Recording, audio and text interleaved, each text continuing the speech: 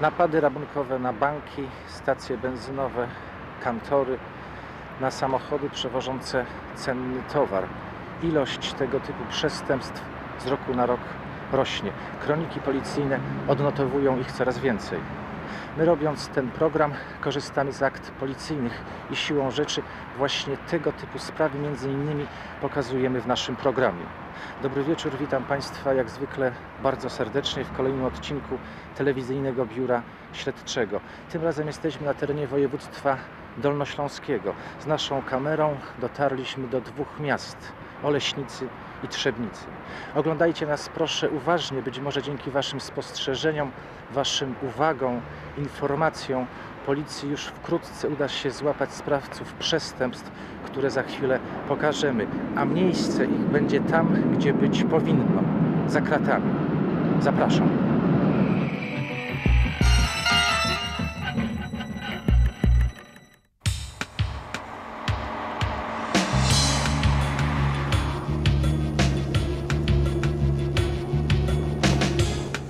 Paweł Kozar, urodzony w 1959 roku, obywatel Republiki Czeskiej.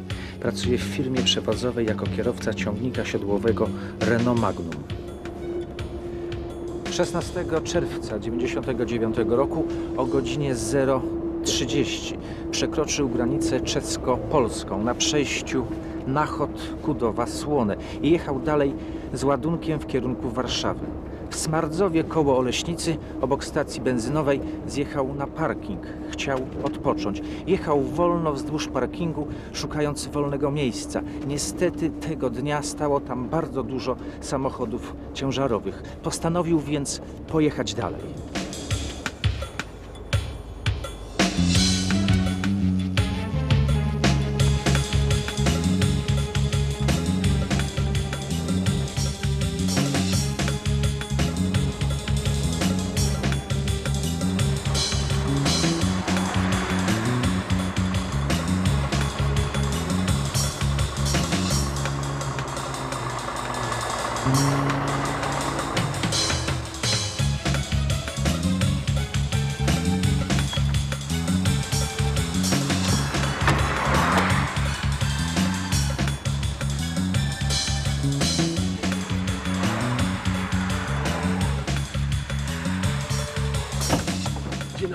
Inspektor Malinowski. Paszport, prawo jazdy, kartę wozu, proszę. Proszę pokazać legitymację służbową. Proszę bardzo. To moja legitymacja. Wyjaś, wyjaś! Co jest? Za co chodzi panowie? Wyjaś! O co chodzi? Co jest? Co wy robicie? O co chodzi?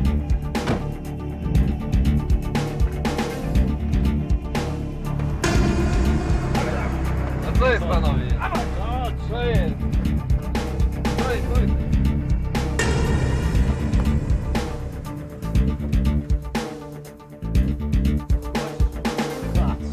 Co jest, panowie? Co wy robicie?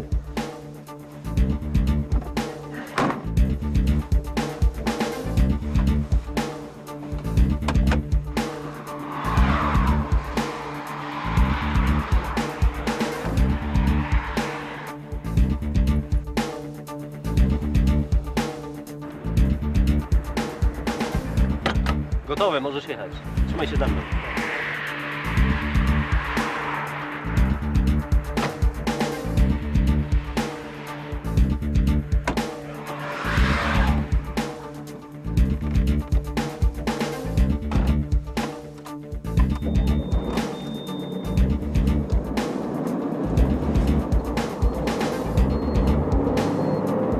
Co wieziesz? Europalety ze szpulami na drut. Towar nas nie interesuje, tylko ciężarówka. Także nie ma obawy. Tutaj zjedziemy chyba na ten parking, nie?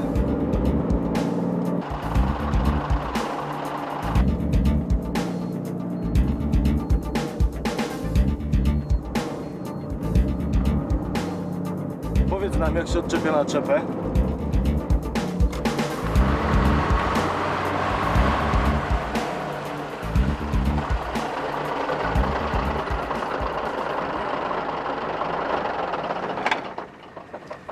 Napadnięty kierowca powiedział sprawcom, jak to zrobić, żeby odłączyć naczepę. W czasie, kiedy dwaj bandyci odpinali przewody i hak łączący naczepę z ciągnikiem, trzeci siedział w samochodzie i bawił się bronią. Po kilku minutach naczepa została odłączona. Samochód osobowy, a za nim tir ruszyli w dalszą drogę. Tak jechali około 20 minut.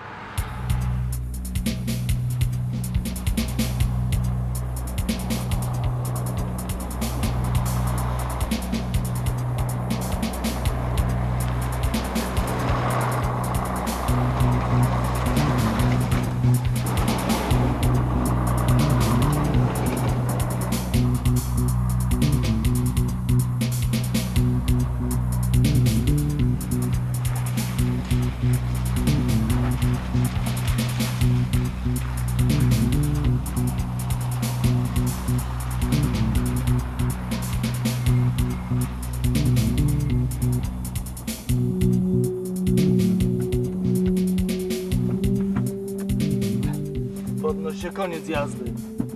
Podnoś się. Co jest? Co wy Spokój. Ale co mi zrobić? Co jest? Puszczaj! Torbę mu założymy. Siedź spokojnie. Puszczaj! Puszczaj, co robisz? Siedź dobrze, nic ci się nie stanie, spokój. Będziemy wysiadać teraz, kolego. Ciągaj. Dawaj, chodź.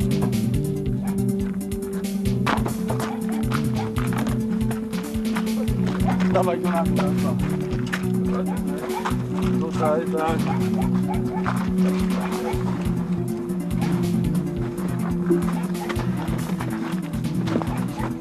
Przeszukajcie auto, może jeszcze jakiś grosz padnie.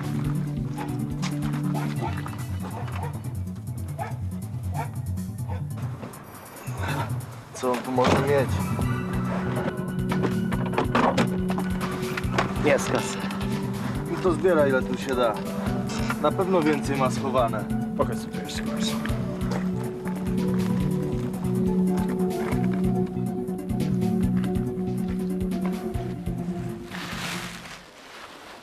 Kierowca słyszał, jak bandyci dzielą między sobą zrabowane mu pieniądze. Ich łupem padło 400 niemieckich marek, 800 czeskich koron. Oprócz tego ukradli kierowcy dowód osobisty, prawo jazdy, paszport i uprawnienia na przewóz niebezpiecznych substancji.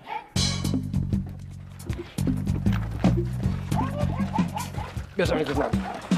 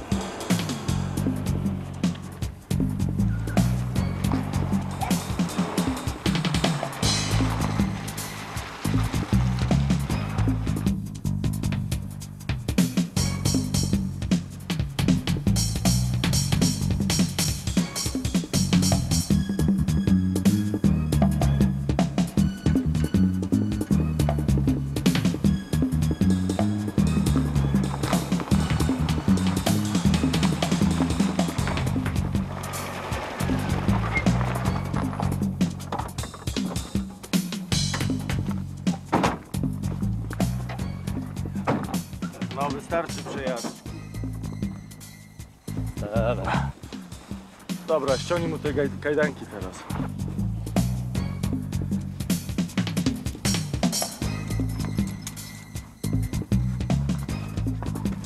Spokojnie, a nic ci się nie stanie.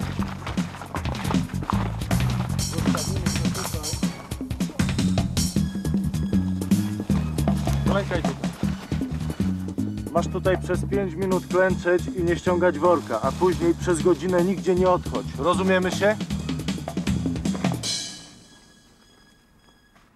Kierowca był śmiertelnie przerażony. Jak potem Opowiadał policji, był pewien, że zostanie zabity. Dopiero po godzinie zdjął worek z głowy. Spojrzał na zegarek, była dokładnie 6.25. Do lasu dochodziły odgłosy znajdującej się w pobliżu drogi. Poszedł w tamtym kierunku. Zatrzymywał samochody bezskutecznie. Nikt nie reagował na jego znaki. Poszedł dalej z krajem drogi. Dotarł do skrzyżowania, gdzie był drogowskaz z napisem Milicz 8 km. Poszedł w tamtym kierunku. Dotarł do parkingu, spotkał kierowcę. Ten odwiózł go do Trzebnicy. Tam na policji opowiedział, co mu się przytrafiło. 16 czerwca 99 roku o godzinie 13.45 na parkingu przy zajeździe na Polance odnaleziono porzuconą przez bandytów naczepę. Policja poszukuje skradzionego ciągnika siodłowego Renault Magnum. Rok produkcji 1991. Numer rejestracyjny AR 7816. Numer silnika 16269. Cechy charakterystyczne to kabina koloru czerwonego z białym pasem biegnącym pod przednią szybą. Za bocznymi oknami również białe kliny biegnące w dół. Z przodu części błotników pomalowane na biało. Lewy błotnik wymieniony po uderzeniu na plastikowy. W miejsce świateł przeciwmgielnych plastikowe zaślepki. Policja poszukuje również następujących dokumentów. Karnet TIR o numerze UX 26 38 28 87 wypisany na ładunek do Białorusi. Karnet TIR o numerze UX 26 38 28 88 niewypisany. Czeskiemu kierowcy skradziono m.in. rzeczy osobiste, takie jak kurtka skórzana, kurtka jeansowa i dwie pary spodni jeansowych. Proszę Państwa, w tej sprawie policja prosi o jakiekolwiek informacje, które być może przyczynią się do wykrycia sprawców tego napadu. Proszę je kierować do oficera dyżurnego Komendy Powiatowej Policji w Oleśnicy pod numer telefonu kierunkowy 071 314 20 31.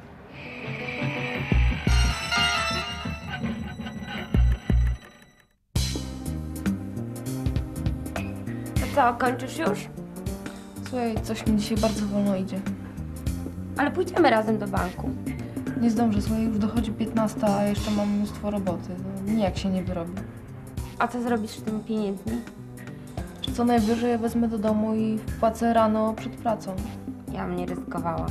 No a co mam zrobić? Jeszcze mi tyle roboty zostało, a bank nie będzie czekał. No to zostaw te pieniądze tutaj. A co to da? I, I tak będę musiała jutro nieść kolejne pieniądze, więc dwa razy więcej. No to w ogóle jeszcze gorzej. Jak uważasz? Ja już muszę iść. Muszę zrobić zakupy. No to fa. Pani Małgorzata B. mieszka w Trzebnicy. Tutaj też pracuje w agencji PKO. 6 września 1999 roku miała bardzo dużo pracy. W związku z tym została po godzinach urzędowania. Tak jak przypuszczała, w tym czasie bank już przestał przyjmować gotówkę i przelewy od klientów. Nie pozostało jej nic innego, jak zabrać ze sobą pieniądze do domu. Tak też zrobiła. Następnego dnia, około godziny 7.45, pani Małgorzata wychodzi z domu.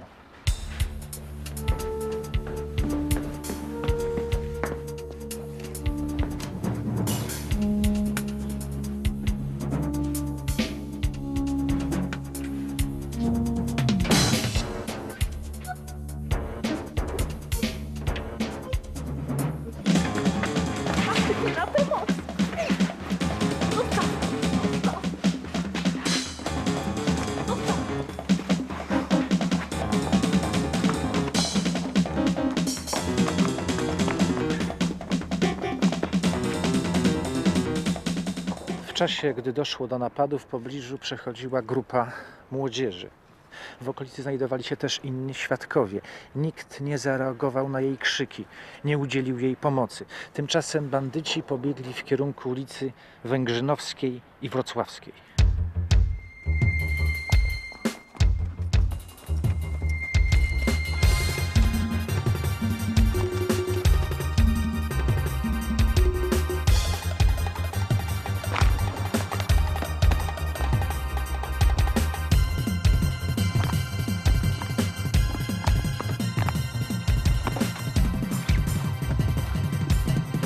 Mam pieniądze! Dobra, pospiesz.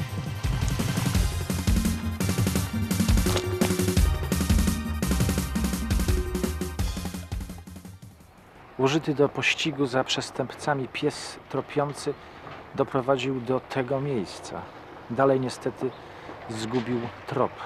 Pani Małgorzata była w szoku.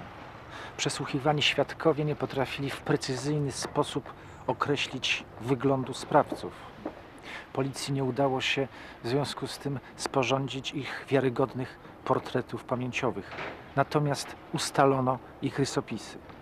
Obaj w wieku 20-25 lat, wzrostu około 180-185 cm, szczupłej budowy ciała. Ubrani byli pierwszy w sweter koloru niebieskiego ze znakiem firmy Nike, czapkę tak zwaną baseballówkę koloru czarnego z takim samym znakiem firmowym.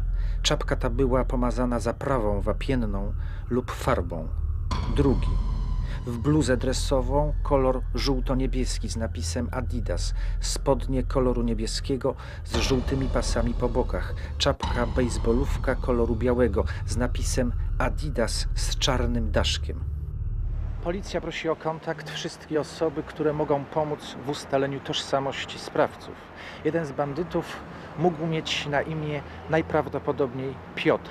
Obaj mieli na głowach czapki, tak zwane baseballówki. Jedna z czapek była ubrudzona farbą lub też zaprawą murarską.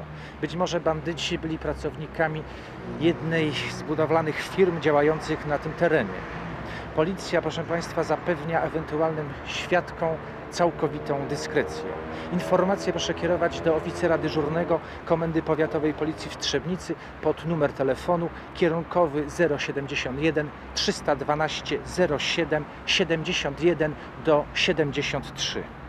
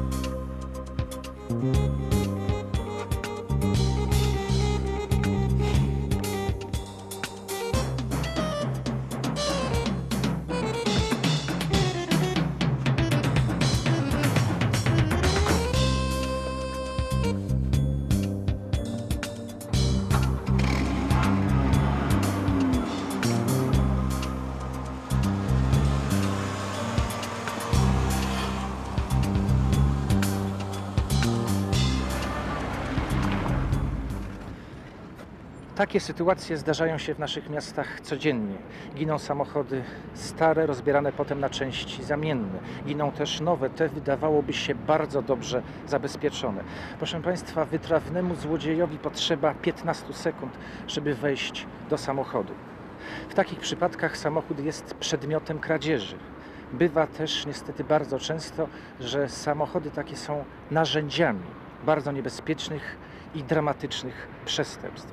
Tak było w tym przypadku. Sytuacja ta miała swój dalszy ciąg jeszcze tego samego dnia w położonej 30 km od Wrocławia Trzebnicy.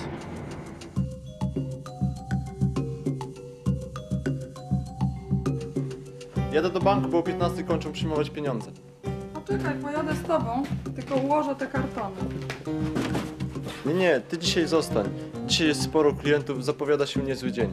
Nie powinieneś jechać sam. Pamiętasz, jak miesiąc temu w Trzebnicy napadli na tą kobietę z agencji PKO? Pamiętam, ale co, przez całe życie mamy się bać? Może ich już złapali. Chyba niebo by się rozeszło po okolicy. Tak czy inaczej, bądź ostrożny. A ja idę, bo jakiś klient przyszedł. To na razie.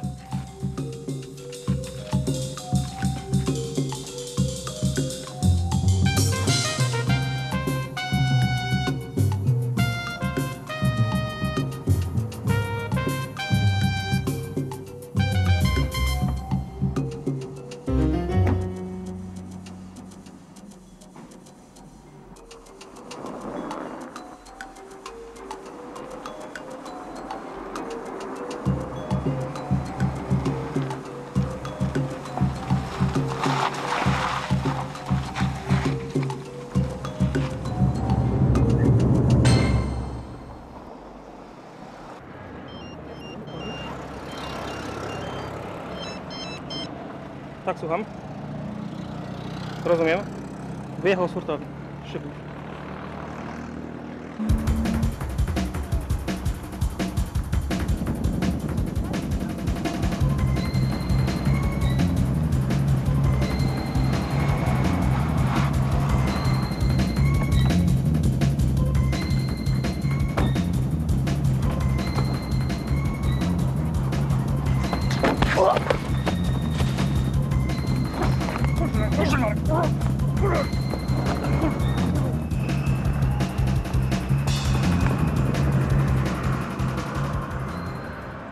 Całe zdarzenie trwało kilka sekund. Świadkowie, którzy je obserwowali, nie zdążyli przyjść z pomocą panu Józefowi. Nie udało mu się też zadzwonić z telefonu komórkowego na policję. W związku z tym pobiegł do banku, opowiedział pracownikom, co mu się zdarzyło. Ci powiadomili policję. Organy ścigania natychmiast przybyły na miejsce zdarzenia. Niestety sprawcy zdążyli zbiec. Według zeznań świadków w czasie napadu nie użyli broni palnej. Poszkodowany otrzymał tylko jeden bardzo mocny cios w twarz. Tymczasem sprawcy zdążyli dobiec do ulicy księdza Bochenka, niedaleko restauracji kasztelańskiej.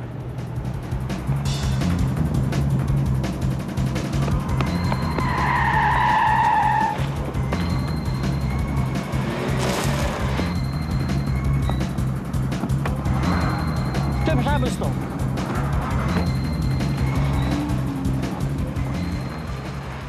Policji na podstawie zeznań świadków udało się sporządzić tylko rysopisy obu sprawców. Pierwszy wiek około 22 lat, wzrost około 180 cm, szczupłej budowy ciała, włosy ciemny blond, krótko ostrzyżone. Drugi niższy, wzrost około 175 cm, krępy, włosy krótko ostrzyżone. Mimo zorganizowanej natychmiast blokady i pościgu za przestępcami nie udało się ich schwytać. Samochód, którego użyli do napadu sprawcy, odnaleziono w trzy dni później, 25 października 1999 roku, w lesie między miejscowościami Kubeczki a Niezgoda. Właściwie ten samochód odnalazł już w dniu napadu grzybiarz, który w tym czasie zbierał runo leśne. Jednak kiedy po raz drugi przyszedł na grzyby i zobaczył, że samochód stoi dokładnie w tym samym miejscu, dopiero wtedy zdecydował się na powiadomienie policji. Podczas oględzin stwierdzono, że przednie fotele i tylna cała kanapa są posmarowane silikonem, który znajdował się w bagażniku samochodu w dużych ilościach. Zabezpieczone zostały ślady nadające się do dalszych badań porównawczych. Dotychczasowych policyjnych ustaleń wynika, że napad ten był bardzo dokładnie zaplanowany, a jego ofiary od dłuższego czasu obserwowano. Policja zwraca się ze szczególnym apelem do właściciela samochodu osobowego, który w dniu 22 października 1999 roku około godziny 15 jechał w Trzebnicy w kierunku ulicy Prusickiej i potrącił przechodnia. Tym przechodniem, proszę Państwa, był jeden z bandytów. Prosimy również o kontakt świadków, którzy być może widzieli moment kradzieży Volkswagena Passata przy centrum handlowym Marino we Wrocławiu, albo też widzieli, jak ten sam samochód stał przy restauracji Kasztelańska w Trzebnicy. Informacje proszę kierować do oficera dyżurnego Komendy Powiatowej Policji w Trzebnicy pod numer telefonu 071 312 07 71 do 73.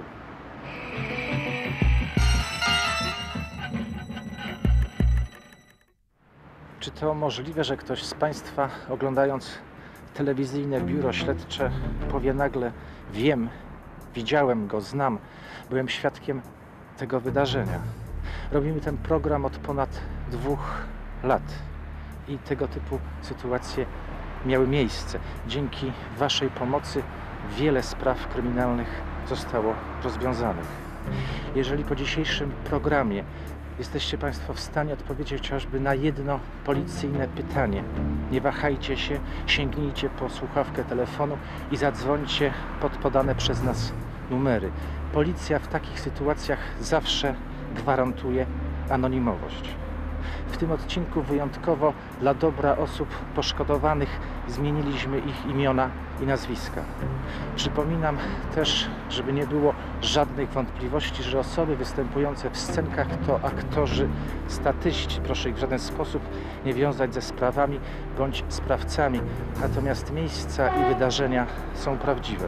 Dziękuję bardzo za uwagę. Zapraszam na kolejne wydanie telewizyjnego biura śledczego za tydzień. Dobranoc Państwu. thank you